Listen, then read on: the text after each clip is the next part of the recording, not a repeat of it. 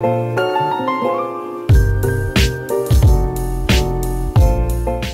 everyone, welcome back to another one of my videos. So today I wanted to talk about something that's recently happened in our community.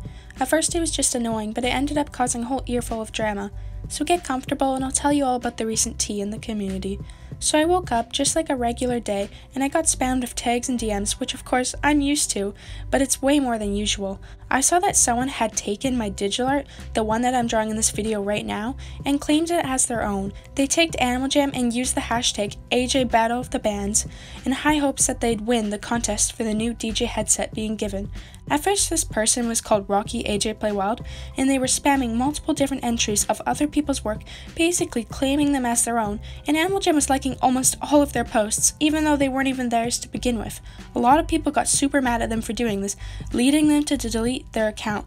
I thought that they deleted it and learned their lesson, but I was wrong. They eventually made a new account called Clarity Moon Fox and repeatedly did the exact same as before. They posted a ton of different spam posts of people's work that wasn't even theirs. I was keeping everyone updated with the shenanigans on my Instagram story. After some time passed, AJHQ made a post of the winners of the Battle of the Bands event, and no joke, Clarity Moon Fox's post was there with a tag name down below. Just so everyone knows, I found out that AJHQ uses bots to choose the winners, which makes total sense. It means that it can give everyone a fair chance to win. But unfortunately, that led to Clarity Moonfox winning. A ton of people got super mad in the comment section, saying that she stole the post and that she shouldn't get the prize, and I was shocked when I saw what happened next. AJHQ actually deleted the post of their winning. You see, AJHQ doesn't really take our thoughts and outputs into consideration whenever we give them recommendations about the game. So when I saw that they did delete the post to make another without Clarity Moonfox in it, I was pretty darn surprised. Honestly, I'm glad that she didn't end up winning the prize because she was basically violating a copyright law by saying other people's artwork and posts were hers and reposting them. I don't know what her username on Animal Jam is, actually, no one does because she hit it so well. But either way, I did want to talk about this because it caused a lot of drama, and I am fully aware that many of you love these dramatic tea spilling videos when it comes to Animal Jam. So either way, I hope that Clarity Moon learns a lesson one day about what she has done. Even Animal Jam recognized what she did and took an initiative by making things right, which is a very good thing.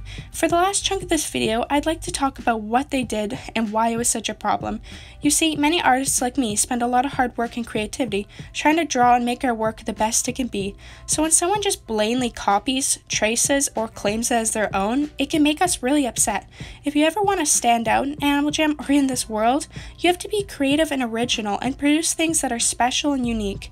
You'll never get anywhere by tracing or copying other people's work. And honestly, I think that I need to make a video on this topic a bit more. So I hope that clears some stuff up about why it's wrong to do what Clarity Moon did and why she shouldn't go unnoticed. I'm not telling anyone to go hate on her, I mean, I'm just explaining why she did was so wrong and why she needs to learn a lesson. She has said to me that she enjoys doing what she does, and I hate hearing that since I want everyone to be creative and stand out in their own great way. Anyways, I hope you enjoyed this video, and I'll see you all next time.